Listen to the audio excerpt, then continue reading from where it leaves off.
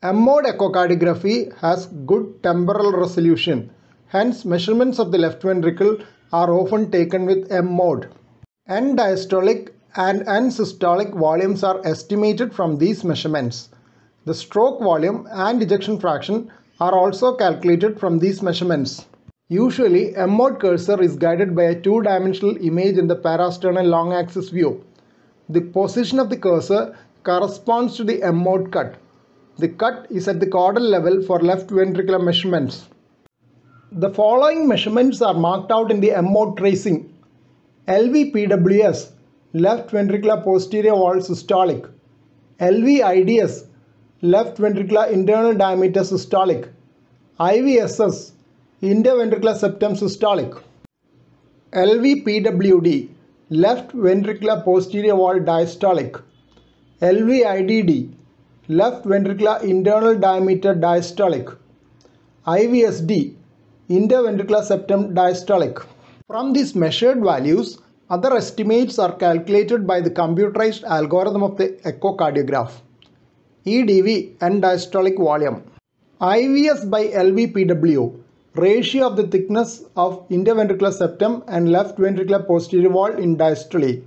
In asymmetric septal hypertrophy due to hypertrophic cardiomyopathy, this ratio is increased. It is reduced in septal thinning due to anterior wall myocardial infarction. IVS percentage percentage systolic thickening of the interventricular septum.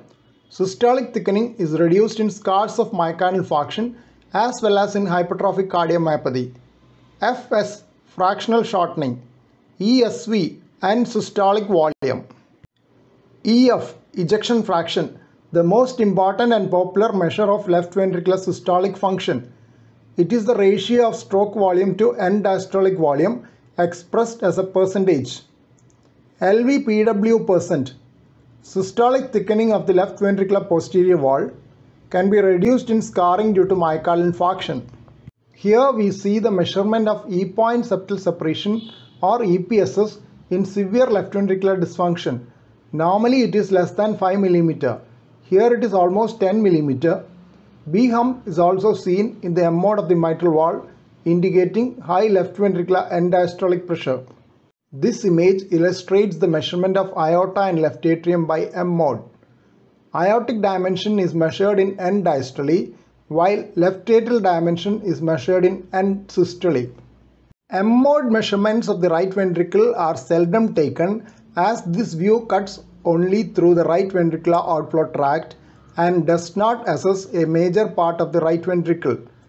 Calculation of ejection fraction of the right ventricle is difficult due to the complex shape. Ideally, the M-mode tracing has to be timed with simultaneous ECG, but this is often not done as it is cumbersome to connect ECG leads in a busy echocardiography laboratory. If an ECG is attached, correct timing of end systole and end diastole is possible. M-mode measurements have an inherent limitation in that it is one-dimensional. Better methods of assessing left ventricular function would be two-dimensional or preferably three-dimensional in modern echocardiographs. But it is often restricted to the research scenario again due to constraints of time. Measurements can be indexed according to body surface area to allow comparison between individuals with different body sizes. According to the American Society of Echocardiography Guideline 2015, 2D echocardiographic images are preferred over a mode to avoid oblique sections of the ventricle. Theoretically, anatomical mode in which computer software corrects the obliquity can give better mode measurements, but errors could be there if the angle correction is high.